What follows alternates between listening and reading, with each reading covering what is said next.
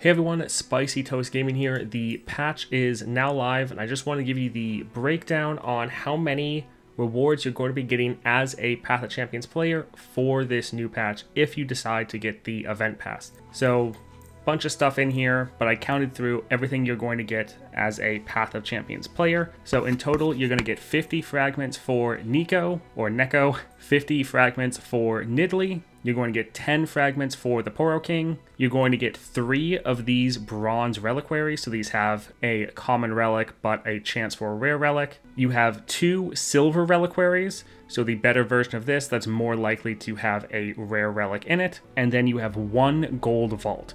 Now the Gold Vault has a decent amount of champion fragments in there, and with the update this patch, the Gold Vault is guaranteed to not have any duplicates in there, so it should be all for champions you don't yet have. Now, in the event, there is no guaranteed relics this time. I know a lot of people were looking forward to Gale Force. That is not in here. There are no guaranteed relics in the event pass.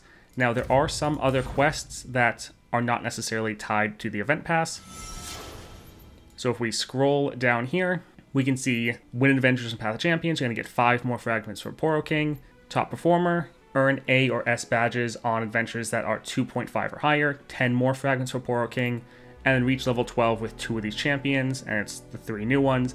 And then you'll get 10 more fragments for Neeko, And then there's some also other silver reliquaries and wild fragments here. Now these two you should be able to do without the event pass.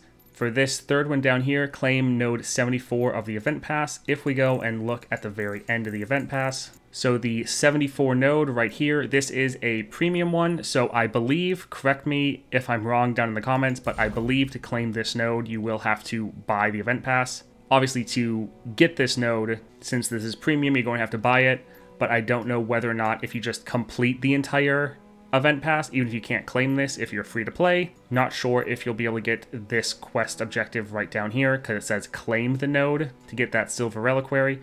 But I believe this should be the only quest you're given where you actually have to have the event pass in order to get it. So overall, a decent amount of shards if you want to get all of the new champions. That being said, I know a lot of people really wanted Gale Force to be in this event pass.